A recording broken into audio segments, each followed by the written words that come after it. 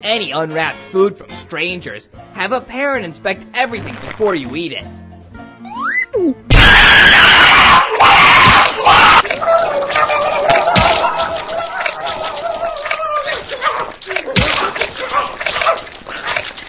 Generation sabotage.